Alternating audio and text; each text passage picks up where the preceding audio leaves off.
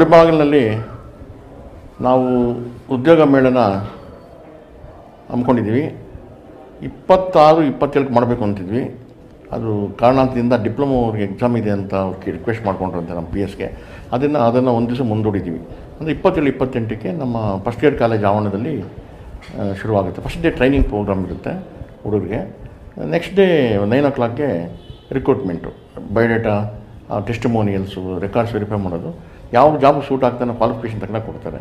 ಇದಕ್ಕೆ ಯಾವ school dropouts middle school ಇರ್ಬೋದು ಹೈಸ್ಕೂಲ್ ಇರ್ಬೋದು P U C degree diploma engineering ಎಲ್ಲರೂ ಬರ್ಬೋದು. ಅವ್ರ ವಿದ್ಯಾರ್ಹತೆಗೆ ತಕ್ಕನಾಗಿ ಒಂದು ಕೆಲಸ ಅದಕ್ಕೆ ಸಿಗುತ್ತೆ. ಇದಕ್ಕೆ ಒಂದು ನೂರು ಕಂಪ್ನಿ ಬರ್ತೆ ಅಂತ ಹೇಳಿದ್ದಾರೆ. ಕಡಿಮೆ ಅಂದರೂ ನನ್ನ ಪ್ರಕಾರ ಒಂದು ಅರವತ್ತು ಕಂಪ್ನಿ ಅಂತೂ ಬರ್ತವೆ. ದೊಡ್ಡ ದೊಡ್ಡ ಕಂಪ್ನಿಗಳು ಬರ್ತವೆ.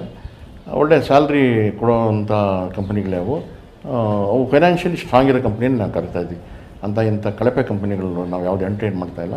ಇದೊಂದು ಸುವರ್ಣಾವಕಾಶ. ನಮ್ಮ ನಿರುದ್ಯೋಗಿಗಳಿಗೆ, ನಮ್ಮ ಮುಳುಬಾಗಲ ತಾಲೂಕಿನಲ್ಲಿ ಹಿಂದುಳಿದ ಪ್ರದೇಶ, ಇಲ್ಲಿ ಇಂಡಸ್ಟ್ರೀಸ್ ಇಲ್ಲ, ಏನೂ ಇಲ್ಲ.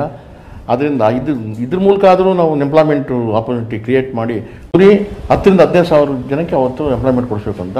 ಹತ್ತು ಸಾವಿರ ಆದರೂ ಕೊಡಿಸಿ ಅಂತ ಅಂದ್ಬಿಟ್ಟು ನಾನು ರಿಕ್ವೆಸ್ಟ್ ಮಾಡಿದ್ದೆ ಆರ್ಗನೈಸರ್ಸ್ಗೆ ನಾನು ಅಲ್ಲೇ ಇರ್ತೀನಿ ಫಸ್ಟ್ ಡೇ ಇರ್ತೀನಿ ಸೆಕೆಂಡ್ ಡೇ ಥರ್ಡ್ ಡೇ ಇರ್ತೀನಿ. ನಾನು ಎಲ್ಲರಿಗೂ ಒಂದು ಗೈಡ್ ಮಾಡೋದು.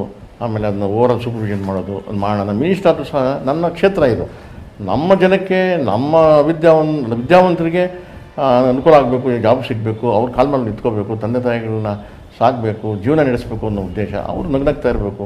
ಎಲ್ಲರೂ ಮುಖಗಳು ಬಾಡಿ ಹೋಗ್ಬಿಟ್ಟಿದೆ ಇಲ್ಲಿ. ಏನು ವಿದ್ಯಾಭ್ಯಾಸ ಮಾಡೋದು ಮನೇಲಿ ಇರ್ತಾರೆ, ಓಡಾಡ್ತಾರೆ ಟೈಮ್ ವೇಸ್ಟ್ ಮಾಡ್ತಾರೆ. ಏನು ದಿಕ್ಕು ತೋರ್ಸಂಗೆ ಆಗ್ಬಿಟ್ಟಿದೆ ಅವ್ರಿಗೆ.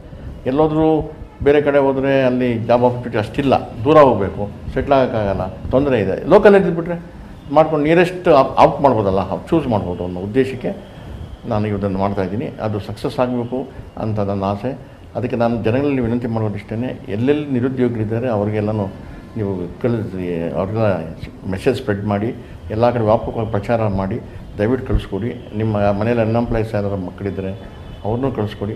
ಎಲ್ಲರಿಗೂ ದೇವರು ಅನುಕೂಲ ಮಾಡಲಿ, ಒಂದು ಉದ್ಯೋಗ ಸಿಗಲಿ, ಅವ್ರಿಗೆ ಒಂದು ಸಂಬಳ ಅನ್ನೋದು ಬಂದರೆ ಅವ್ರು ನಗನಗ್ತಾ ಜೀವನ ನಡೆಸ್ತಾರೆ ಅನ್ನೋದು ಒಂದು ಆಸೆ ನನಗೆ.